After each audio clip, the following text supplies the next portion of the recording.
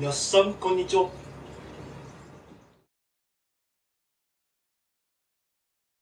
はい、えー、札幌家賃4万円未満。ペット可能物件は見つかるか、えー、結果的に冒頭で、えー、お見せしましたが物件が見つかりました。移住ができました。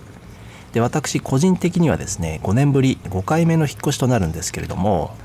これまでもですね自分で自力で自家用車で頑張って引っ越しをするということをやってきたんですがその比率が今回7割近くということで我ながら頑張ったということでその様子を簡単にまずお見せしたいと思います。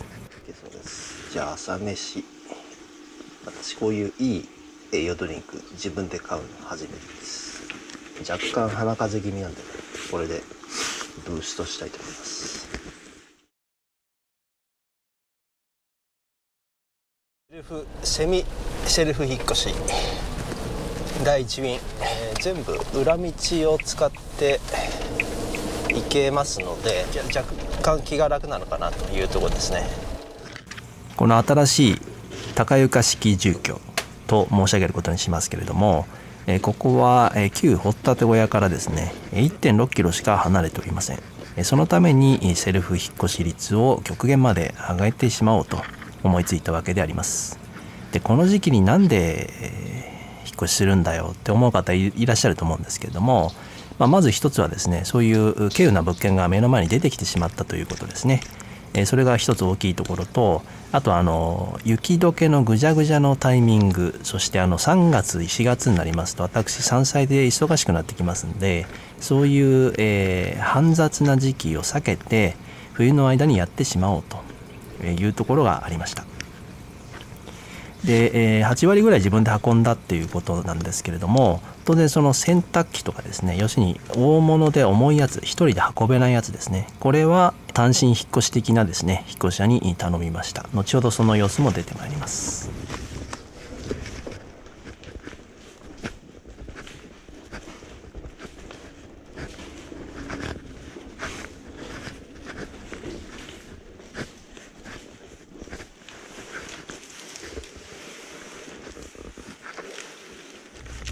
はい今8時半ですね、えー、2便が終わったとこかな。ちょっと腕もパンパンなんですけどえっ、ー、とホワイトアウトするぐらい吹雪になってきましたね。ちょっと一時休憩しないとダメかもしれないです。口が回らない。今回とてもありがたいなと感じたのが私が乗ってる HA36S 型のアルト。これはアルトの歴代最も箱型をしてるんですよね。空間が広い。そのため積載力が高かったです。今回の引っ越しはですね忙しい要素の一つとして立ち会いを結構詰め込んでしまったということですね、えー、今北勝さんが新居の方で回線の作業されてますけれども続いてですね13時に予約していたはずの引っ越し業者の方が、えー、前倒しで12時前に来てしまったんですよね。それで昼飯を食べるタイミングを見失ったりとか組み立て系の家具を全部自分らでやってあげるよサービスだよっていうところが目玉で選んだ業者だったんですけれどもまあ、トータルそういった3時間ぐらい立ち会いをした上ででもそのベッドがですね私の予定していた場所に置けないという事態が発生してしまったために、まあ、そこでちょっと私思いつかなかったので決定ができなかったのでじゃあもうバラしたままで帰っていいですよということになってしまったので非常に時間をロスしました。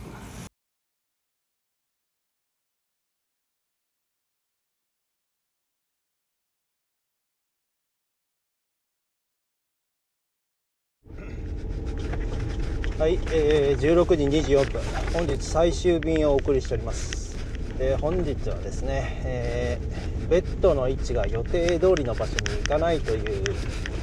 ことのみが、え、イレギュラー事象として発生いたしました。新居のガレージなんですけれども、えー、天井が低くなってしまったということと天井に配管がなくなってしまったので置けるものが減ってしまったんですよね。そこも悩みどころでした。結局ベッドの位置は決まらずに作業終了ということで、えー、夕飯をですね調理ばさみのみで食べる羽目になりました。ちなみに翌朝は手づかみでフルーツグラノーラを食べました。とりあえずこの家はあったかいですね。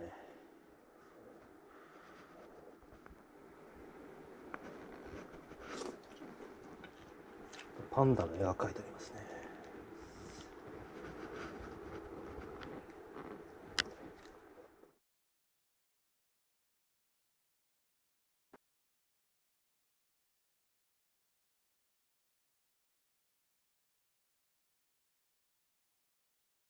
えー、第2日目であります。今日はマイナス2度暖かくなりました。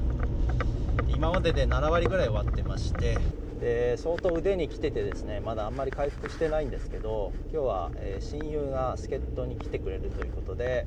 えー、目標通り今日で全部水槽を含めてですね荷物を移動しきるのが、え、絶対的急務であります。2日目初回便はですね厄介なアクアリウム系をもう先にやってしまうということにいたしました。やり方としては40センチの小さい水槽に魚たちを集めて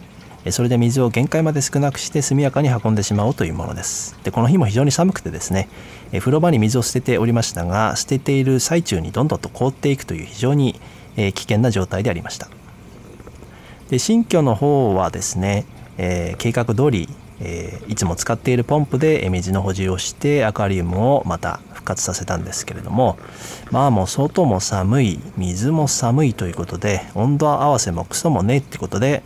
えー、水生生物たちは頑張って乗り切ってくれました。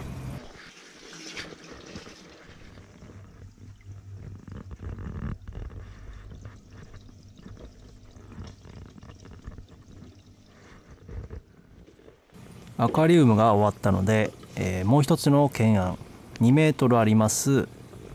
DVD ラックですね。IKEA のベンノシリーズ。これを運んでいきます。で最初はですねアルトのちょっと傷が入ったりするのを、えー、控えましてですね、えー、1個ずつ運んでたんですけどこれ計6本もあるんですよね。だからあの中盤以降はですね2本ずつ運ぶような形をとりました。死因はなかなか、え、現れません。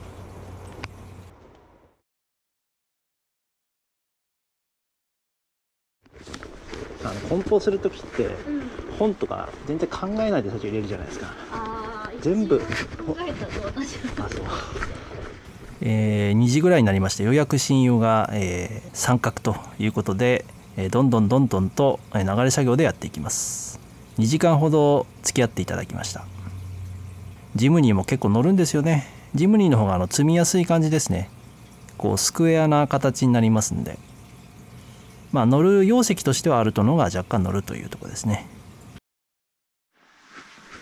はい、ということでですね、えー、またいろんな立ち会いを経つつ、えー、お友達の協力もありましてですね、かなりここまで整ってきました。もう大物はほぼ来てますね、これで。あと衣装ケースが、え、数箱と、えー、細々とした、えー、調理器具とえいうところあとまあ向こう側の清掃ですね、まあ、まだちょっと14時半ということでもう12便やろうとは思いますがその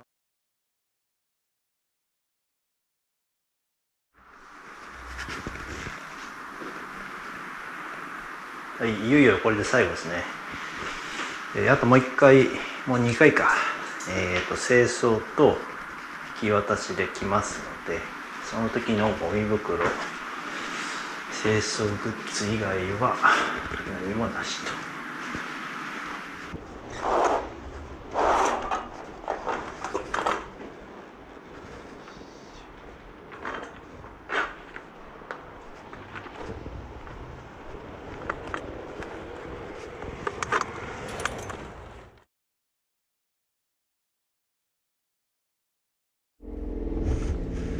さほぼ完全にガラクタ。密度でいうと今回の引っ越し中一番ですね。大変な密度のガラクタ号が最終便として新居に向かうわけです。いやよくやりました。これでラスト。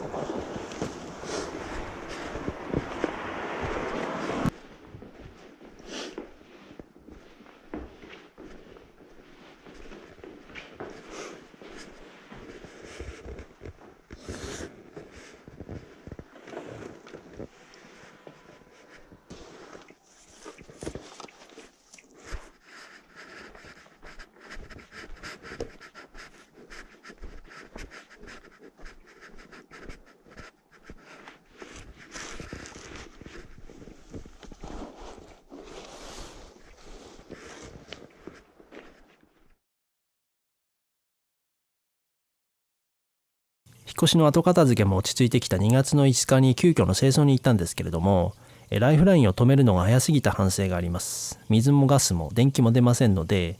え、掃除がうまくいきませんでした。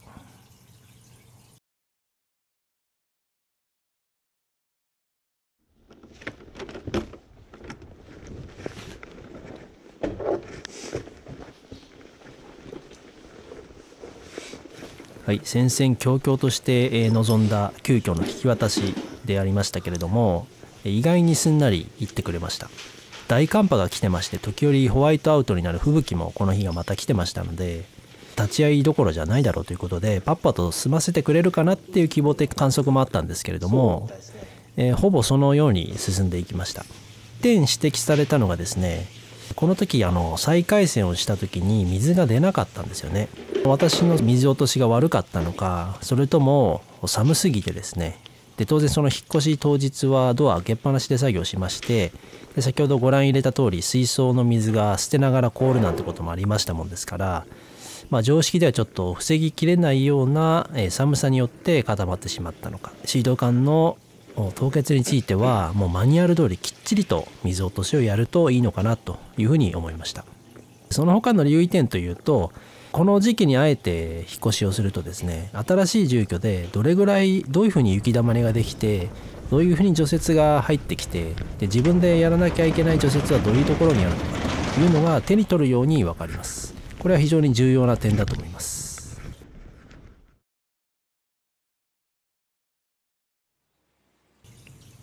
この引っ越しの留意点というかメリットデメリットはこのようになりました。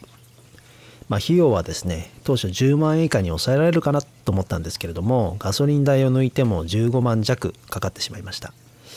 まああの急いでちょっとタイミングが悪かったっていうのもありましてまあしょうがないかなというところですね、まあ、最近の私の千葉から北海道に来るとか、えー、帯広からこっちに来るというのに比べたらもう格安ですね。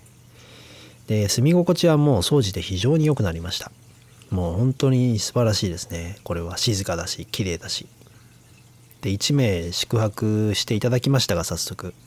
快適に過ごしていただきました。